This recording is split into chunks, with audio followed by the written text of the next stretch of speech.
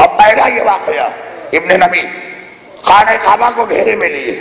अब यहाँ पे रुक के कुरान की मजलूम आयत सुनाऊं, फिर एक अहम वाकया सुनाऊं, और फिर मुख्तार तक आपको ले जाके आज की मजलिस खत्म करूँ। कल मेरा वादा था कि आज के मसाइल में मुख्तार के दरबार का एक वाकया आए। लेकिन अभी रुकी यजीद के लश्कर का असल सरदार इसने खाने का जिसने रोजा रसूल को ढाया और ये दूसरा सरदार इब्ने नमीर, इसने मक्का मुकर्रमा में काबे पे गोलाबारी दोनों से पूछा गया, तुम कैसे मुसलमान? मदीने और रोजा रसूल पे हमला कर रहे और मदीने की औरतों की सतें टूटी गई मर्दों को कत्ल किया गया, खाने काबा के दीवारें गिरा दी।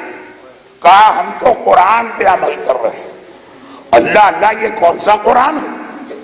जिसमें ये लिखा है, का एक आयत आई है ना? या लजीना आमन अतील्लाह व अती रसूल व ओलिल अमर अपने बादशाहों की बात मानो। हाकिम ने कहा, काबा गिरा दो, हमने काबा गिरा दिया। हाकिम ने कहा, रोजा रसूल पे शराब पियो, हमने रोजा रसूल पे शराब पी। ये नतीजा होता है बैत के दामन को छोड़ने का। ये नतीजा होता है मासूम अमर को छोड़कर, गैर मासूम को अमर के मना मानने का। इब्ने नबीर अपने इतने बड़े गुनाह की दलील कुरान से लेके आ रहा लेकिन अभी खान काबा घेरे में तीन दीवारें गिर गई। खान काबा का खिलाफ पहले चला दिया गया। चौथी और आखिरी दीवार बाकी।